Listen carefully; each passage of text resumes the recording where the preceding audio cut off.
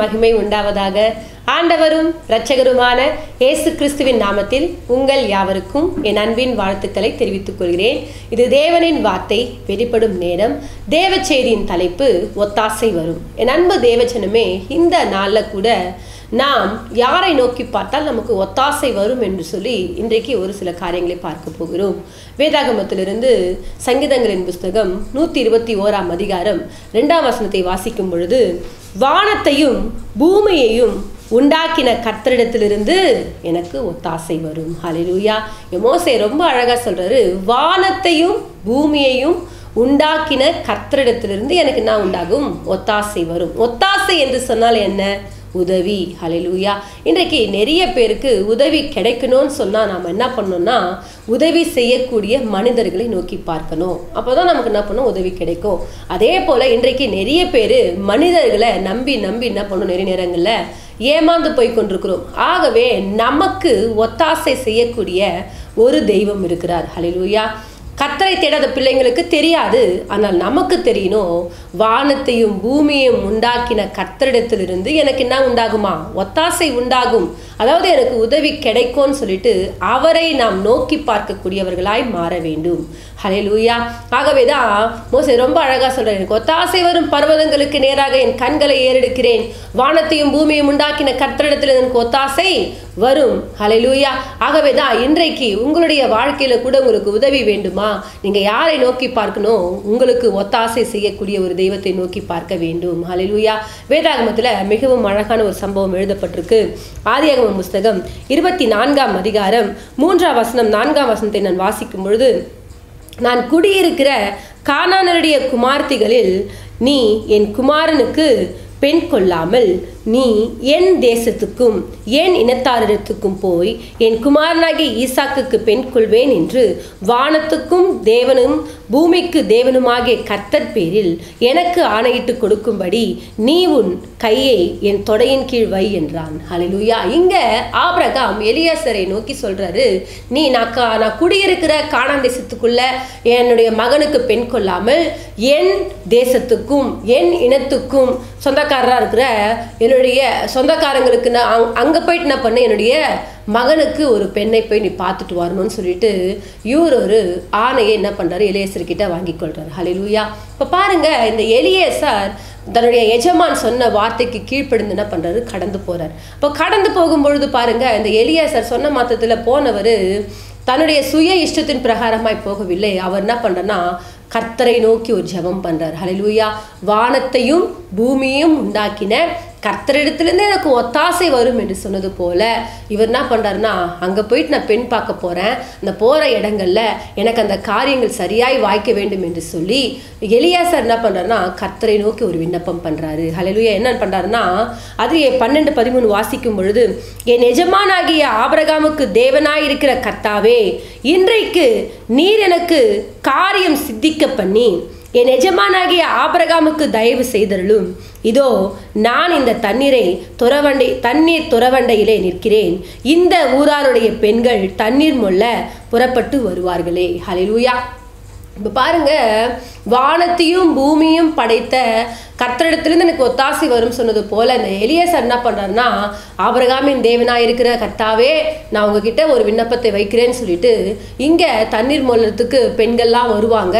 இப்போ வரும்பொழுது அதுல எனக்கு மாத்திரமல்ல என் ஒட்டகங்களுக்கும் யார் தண்ணீர் வார்க்கிறாங்களோ வார்க்கிறேன்னு சொல்றாங்களோ அந்த மகள் தான் நீர் எங்களுக்கு காண்பிக்கிற பெண்ணுன்னு சொல்லிட்டு என்ன பண்றாருன்னா எலியேசார் தேவனிடத்தில் ஒரு ஒத்தாசைக்காக என்ன பண்ணுறாரு ஜோம் பண்றாரு.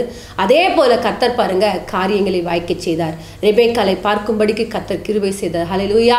அப்ப பாருங்க ஈசாக்குக்கு சரியான ஒரு பெண்ணை தேர்வு செய்வதற்கு கத்தர் உதவி செய்தார். அப்போ பாருங்க வானத்தையும் பூமியையும் உண்டாக்கின கர்த்தரிடத்துல எனக்கு ஒத்தாசை வரும் என்று சொன்னது போல அந்த ஒத்தாசை செய்யக்கூடிய தெய்வத்தை யார் ஒருத்தர் நோக்கி பார்க்குறாங்களோ அவருடைய திட்டங்களை கர்த்தர் சரியாய் அவர்களுக்கு நிறைவேற்ற வல்லவராக இருக்கிறார். ஹலிலூயா இன்றைக்கு நானே எல்லாமே செஞ்சிருவேங்க. எனக்கு எல்லாமே தெரியுங்க. எனக்கு எல்லா பலன் இருக்குங்க. எனக்கு நல்ல அறிவு இருக்குங்க. எனக்கு பணம் இருக்குங்க. எனக்கு அழகு இருக்குங்க. எனக்கு எல்லா விதமான மேன்மையும் இருக்குங்க. எனக்கு நிறைய பெரிய பெரிய அதிகாரிகள்லாம் தெரியுங்க.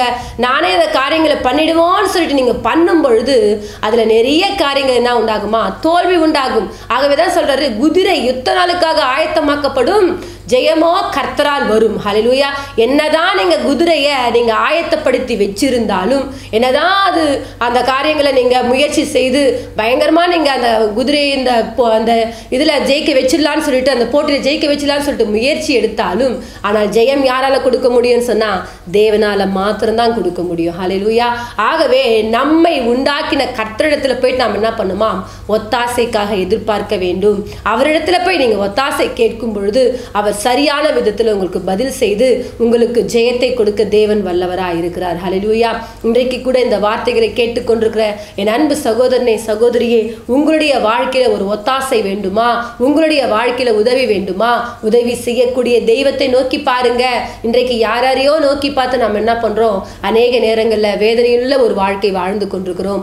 அப்படி வாழாதபடிக்கு நாம் என்ன செய்யணும்னு சொன்னா நமக்கு ஒத்தாசை செய்யக்கூடிய அந்த தெய்வத்தை நோக்கி பார்க்க வேண்டும். இல்லையா அது மாத்திரமல்ல ரெண்டு ராஜாக்களின் புஸ்தகம். இருபதாம் அதிகாரம் ஒன்றாம் வசனம் ரெண்டாம் வசனத்தை வாசிக்கும் பொழுது இங்க அந்நாட்களில் எசேக்கியா வியாதிப்பட்டு மரணத்துக்கு ஏதுவாக இருந்தான் அப்பொழுது ஆமோட்ஸின் குமாரனாகிய ஏசையா என்னும் தீர்க்கதரிசி அவனிடத்துல வந்து அவனை நோக்கி நீர் உமது வீட்டு காரியத்தை ஒழுங்குபடுத்தும் நீர் பிழைக்க மாட்டீர் மறித்து போவீர் என்று கர்த்தர் சொல்லுகிறார் என்றான். ஹalleluya. இங்க ஏசையா தீர்க்கதரிசி வந்து சொல்றாரு இந்த மாதிரி எசேக்கியா ராஜா கிட்ட சொல்றாரு உங்களுடைய வீட்டு காரியங்களை என்ன பண்ணுங்க நீங்க ஒழுங்குபடுத்திக்கோங்க.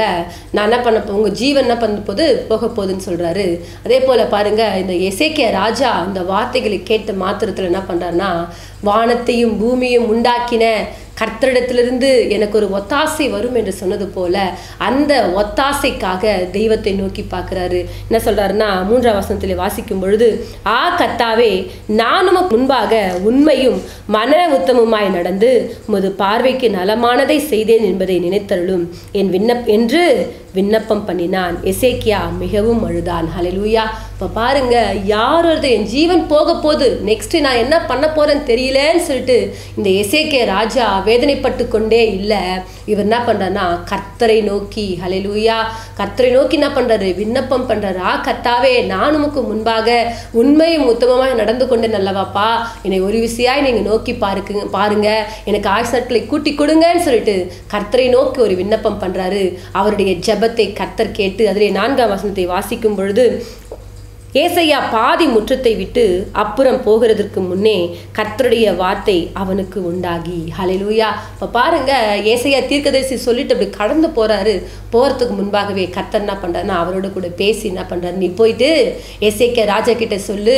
உன் ஆயுஸ் நாட்களை பதினைந்து வருஷம் நான் என்ன பண்ணுவேன்? கூட்டி கொடுப்பேன் என்று சொல்றாரு. ஹalleluya இன்றைக்கு யார் ஒருத்தர் ஆண்டவருடைய உதவியை எதிர்பார்த்து கொண்டிருக்கிறீங்களோ உங்களுக்கு கர்த்தர் ஒத்தாசை தர வல்லவராக இருக்கிறார் ஹalleluya. அவரை தான் நம்ம நோக்கி பார்க்கணும். உங்கள் வியாதிகள் மத்தியில் யாரை நீங்கள் நோக்கி பார்க்கணும்னு சொன்னால் தெய்வத்தை நோக்கி பார்க்கணும். இன்றைக்கு நிறைய பேர் ஆண்டர் நோக்கி பார்ப்பது கிடையாது. எந்த டாக்டர் கிட்ட போகலாம் எந்த டாக்டர் நல்லா பார்ப்பாங்க எவ்வளோ பணம் செலவானாலும் பரவாயில்ல அப்படின்னு சொல்லிட்டு நம்ம என்ன பண்ணோம் நிறைய நேரங்களில் நம்முடைய பணத்தை இழப்பதற்கு நம்ம ஆயத்தமாக இருப்போம். நம்முடைய நேரங்களை இழப்பதற்கு நம்ம ஆயத்தமாக இருப்போம். ஆனால் தேவ சமூகத்தில் ஒரே ஒரு நிமிஷம் இந்த எசேக்கிய இந்த எசேக்கியா ராஜா ஒரு நிமிடம் கர்த்தரை நோக்கி ஒரு விண்ணப்பம் பண்றார். நான் உமக்கு முன்பாக உண்மையும் உத்தமமாய் நடந்து கொண்டேனே. என்னை ஒரு விசையாய் கண்ணோக்கி பாருங்கன்னு சொல்லிட்டு கர்த்தரை நோக்கி மிகவும் அழுதாரு பாருங்க. அழுத ஒரு செகண்ட்ல கர்த்தர் அவருடைய ஜெபத்தை கேட்டுட்டு ஆண்டவர் அவருக்கு ஒரு அற்புதத்தை செய்தார். ஹalleluya இன்றைக்கு கூட இந்த வார்த்தைகளை கேட்டுக்கொண்டிருக்கிற அன்பு தேவச்சனமே உங்களுடைய வாழ்க்கையில உங்களுக்கு உதவி வேண்டுமா? ஒத்தாசை தரக்கூடிய ஒரு தெய்வம் இருக்கிறார். அவர் எப்படியாப்பட்டவரா? வானத்தையும் பூமியும் உண்டாக்கின கர்த்தர். லூயா இன்றைக்கு நீங்களும் நானும் பார்க்கக்கூடிய இந்த வானமும் பூமியும் எவ்வளவு பெருசா இருக்கு பாருங்க. அதை பார்க்கிலும் உயர்ந்த ஒரு தெய்வத்தை தான் நாம் ஆராதித்துக் கொண்டிருக்கிறோம்.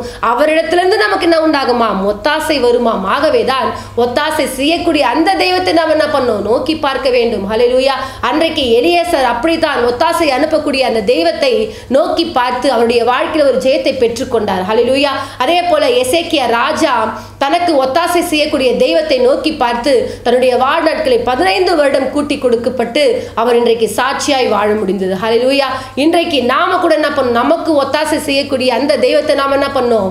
நோக்கி பார்க்க வேண்டும். அது மாத்திரமல்ல ஒன்று நாளாகமம் புஸ்தகம் நான்காம் அதிகாரம் ஒன்பதாம் வசனத்தை வாசிக்கும் பொழுது யாபேஸ் தன் சகோதரரை பார்க்கிலும் கனம் பெற்றவனாய் இருந்தான்.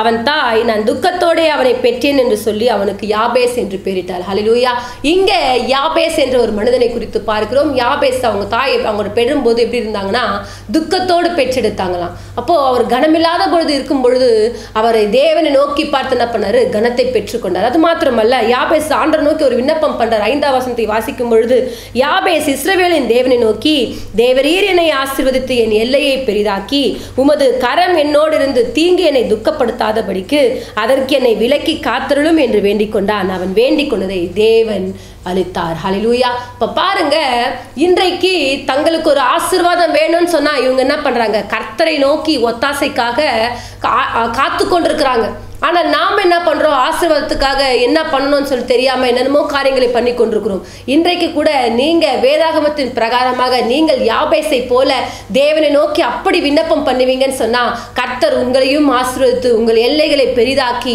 உங்கள் உங்களுடைய கா- உங்களோட கூட கர்த்தருடைய கரம் கூட இருந்து ஒவ்வொரு நாளும் உங்களை வழிநடத்த தேவன் வல்லவராக இருக்கிறார். ஹalleluya. ஆகவே நண்பு சகோதரனை சகோதரியே உங்களுடைய வாழ்க்கையில் கூட ஒத்தாசை வர வேண்டுமா? நீங்கள் கூட இவர்களைப் போல கர்த்தரை நோக்கி பாருங்கள். ஹலெலூயா எங்களுடைய வாழ்க்கையில் அநேக நேரங்களில் உதவியற்ற சூழ்நிலைகள் காணப்படும் பொழுது தேவனை நோக்கி உபவாசித்து மன்றாடும் பொழுது கர்த்தர் எங்களுடைய தேவைகளை கூட அப்படித்தான் ஒவ்வொரு நாளும் ஆச்சரியமாய் சந்தித்து கொண்டு வருகிறார். ஆகவே இன்றைக்கு கூட உங்களுடைய வாழ்க்கையில் உதவிகள் வர வேண்டுமா? உங்களுக்கு தெரியணும் எனக்கு ஒரு தெய்வம் இருக்கிறார். அவர் எப்படியாப்பட்டவர் என்று சொன்னால் வானத்தையும் பூமியும் உண்டாக்கின தெய்வம். அவர் என் காலை தள்ளாட ஒட்டார். என்னை காக்கிறவர் உறங்கார். ஹலிலூயா இஸ்ரேவேலை காக்கிறவரில் தூங்குறதும் இல்லை உறங்குறதும் இல்லை சொன்னது போல அவர் எப்பொழுதும் உங்களை பார்த்து கொண்டே இருக்கிறார். உங்களுக்காக உதவி செய்வதற்காகவே அவர் நோக்கி பார்த்து கொண்டே இருக்கிறார். ஆபத்து காலத்தில் நோக்கி கூப்பிடு நான் உன்னை விடுவிப்பேன் என்னை மகிமைப்படுத்துவேன் என்று சொல்லியிருக்கிறார். ஹலிலூயா இப்போ பாருங்க எல்லா நேரங்களை நோக்கி கூப்பிடுங்க. நோக்கி கூப்பிடும் பொழுது நானும் என்ன பண்ணுவேன்? உங்களுக்கு உதவி செய்வேன். ஹalleluya. அது மாத்திரமல்ல இங்கே எலியா என்ற தீர்க்கதரிசி என்ன பண்ணுறாருன்னு சொன்னால் பாகால் தீர்க்கதரிசிக்கு முன்பாக போயிட்டு என்ன பண்ணுறாரு சவால் விடுறார். இப்போ சவால் விடும் பொழுது என்ன பண்ணுறாரு நீங்கள் உங்கள் தெய்வங்களை கூப்பிடுங்க நான் எங்கள் தெய்வங்களை என்ன பண்ணுறேன் கூப்பிடுறேன்னு சொல்லிட்டு. இப்போ பாருங்க நானூற்றி ஐம்பது தீர்க்கதரிசிகள் என்ன பண்ணுறாங்க அவருடைய தெய்வங்களை கூப்பிட்டு கூப்பிட்டு பார்த்தாங்க. சாயங்காலம் வரைக்கும் எந்த தெய்வமும் வரல. அந்த காளையை பலி செலுத்தவே இல்லை.